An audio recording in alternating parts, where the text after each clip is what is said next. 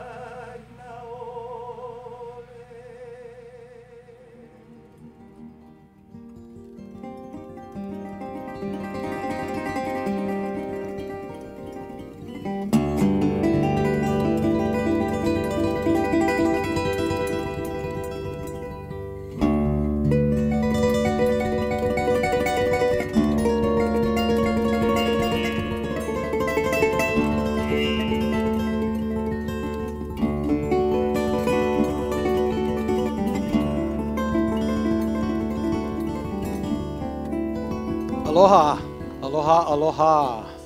Welcome to the sixth Body, Soil, and this year Animal Health Conference.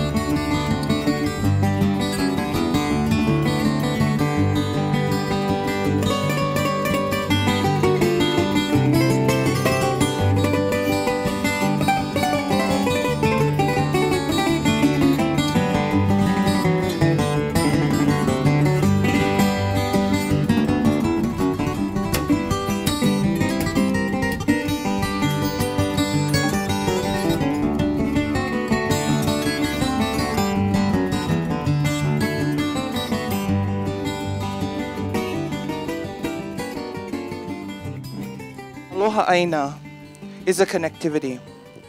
A conne- uh, not just an, a connectivity to place, but to spirit. Because in everything that surrounds us, it is alive. It is to whom we look to as our inspiration. Our, um, in, uh, in our history, Hawaiian history, the kalo, for example, is our older sibling.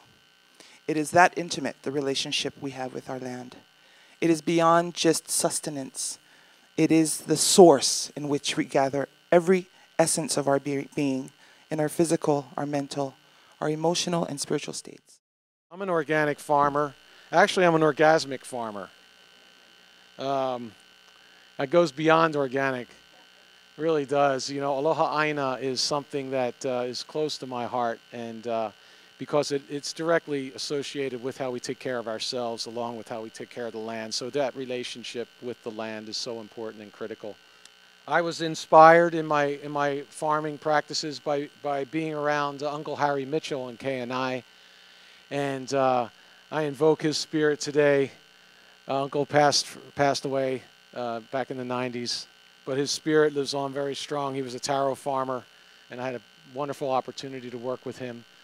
And my grandfather, Vincenzo Labate, he, uh, he was a big inspiration for me. And, uh, you know, what I, what I like to build with, with the conferences is to have a conceptual type of conference, that, and like what we're going to have this weekend. I just have total confidence in the speakers that are here today and the presenters, and they're, not only that they're my friends, but also knowing who they are and what they, what they do in their lives and what they stand for in their lives. For me, what I, what I see is the, the true investment that you folks made today wasn't your registration. You know, it was, it's, it's the investment is when you leave this conference, how that will show up in what you do to, in your daily life, the inspiration that you pull from this conference, hopefully, and how you can implement that in your daily life. Thanks for the honor of inviting me back. It was great to be here last year. And uh, you know, I come from the other end of the earth, Pennsylvania, which is, um, which is still a farm state. And, uh, and it's probably still a farm state because we still have uh, some semblance of community. It's those Amish Mennonite families that live there that have held the land. What I'm seeing, if there's any, any message from those people, it's not that we have to necessarily go back and live with kerosene lanterns and farm with horses. It's the fact that if we're going to fix what's broken and sustain that which we do fix, whether it's our our own family's health or the health of what we leave for the future. And I think that's what this kind of a conference is about. It's not about us. It's about what we leave for the future because we're not here very long, and that's a given. So what it's what is it really all about? If you talk about sustainability, it's about posterity, as, and and having a good time creating um, a sustainable posterity in the in the interim. And I think if there's any message that I've learned in the last, I've been in this work since 1979. I've been in agriculture since 1968, And, um, and I've seen what's happened to the um, American way of, of living and farming uh, and the connectedness of, of, that, of that shortfall in that last 30 some odd years of the fact, like Will said, the biggest contributor to the problems we have relative to the environment is agriculture. And so what I have seen is the fact that, you know, when we start dealing with issues like um, what is medicine, uh, what is community, uh, what is food, uh, what is you know, what is the real word of sustainability? And I think the, the real connection for me is that specific word is connectedness. Um, and that you understand these things are, when you talk about holistic, it's not about, and Will said this the other day, holistic doesn't mean alternative methods of healing a, an animal. Holistic means encompassing, you know, the entire whole principles that the natural world has so generously provided and that we've so um, arrogantly have dismissed because it can't be sexy enough if it's that easily available.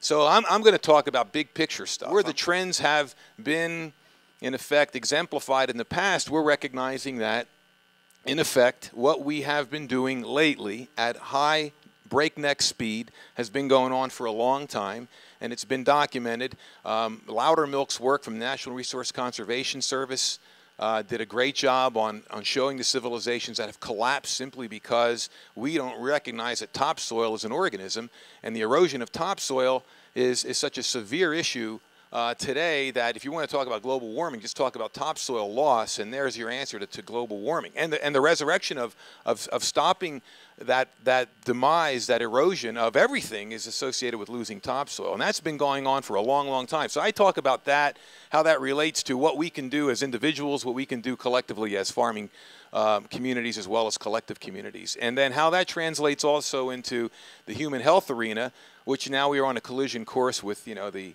the epidemics of uh, childhood obesity and diabetes, cancer, arthritis, Alzheimer's, and all the plagues that are associated with this fundamental problem of not really farming uh, as stewards, but farming as miners and farming as exploiters. So I'm a big picture kind of person, and like Vincent said, I think what you'll get hopefully out of these are dots that you can connect. And there's some there's some can dos and how tos on this, but I think the real important part is the the interconnectedness of all these issues, and they're, they're not that difficult to understand. This is not Greek uh, in a in a Chinese culture. This is this is really good, easy to understand, makes sense kind of stuff. So, uh, I, I, guess I'm. That, that, was an Italian one-minute introduction. it, so that's, Mark what John, you're in actually. for. My goal is to have something happen to you that has happened to me at a conference. Uh, I had my heart cracked open at a conference in about 1980 burst wide open. I was a conventional veterinarian uh, thinking I was doing the right thing. I went to a conference and I saw something that busted me open at this conference, and I was never able to practice conventional medicine again since about 1979. Uh, and yeah, there's just no going back once that happens.